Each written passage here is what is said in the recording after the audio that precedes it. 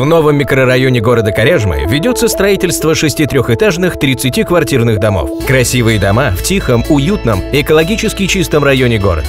Квартиры с автономным отоплением позволяют экономить на отоплении и поддержании в квартире оптимальной температуры. Возможно индивидуальная планировка от 30 до 130 квадратных метров. Чистовая отделка квартир. В обустройство прилегающей территории входит детская площадка и парковочные места. По всем вопросам обращаться в агентство недвижимости «Городок».